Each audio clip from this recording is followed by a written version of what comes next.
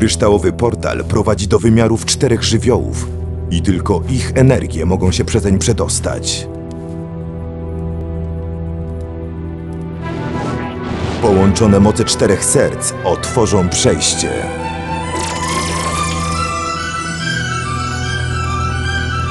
Posiadając klucz wrót żywiołów, można dostać się do wymiaru między wymiarami.